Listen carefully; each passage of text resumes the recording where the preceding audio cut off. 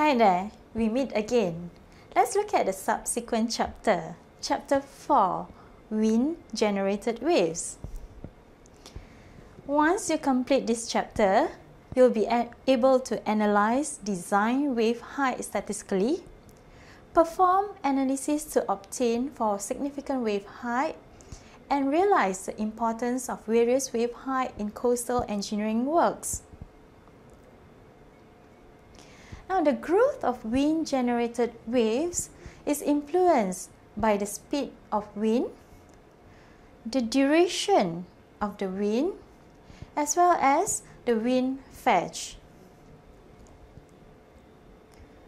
Now, this is the time history record of the surface elevation. It's actually very irregular, right?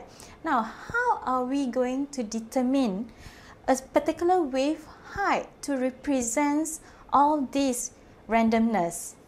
Now, one way is through zero upcrossing method.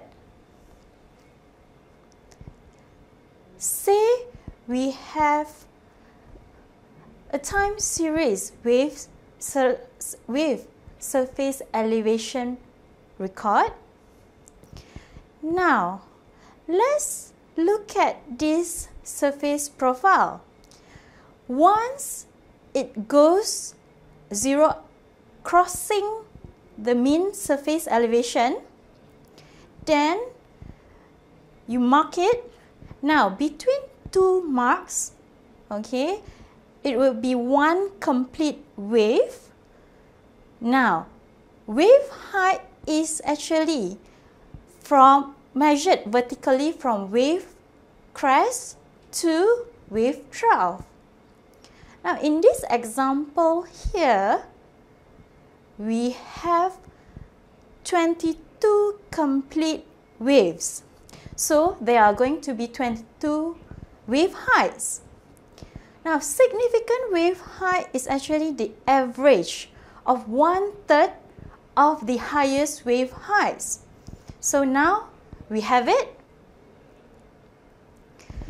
Now, apart from that, once we have the significant wave height, we can also we can actually determine for the average of all the wave heights and also the average of a particular group of wave height using the Rayleigh distribution. For example, okay, Rayleigh distribution give you the the wave height for the average wave height for 2% of the highest wave height. And of course, the 100 represents the average of all the wave heights. Now, let's move on.